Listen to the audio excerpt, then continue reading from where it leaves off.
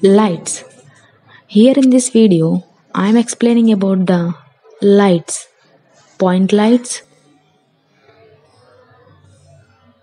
Just select the point light on the view toolbar and specify source location then press enter.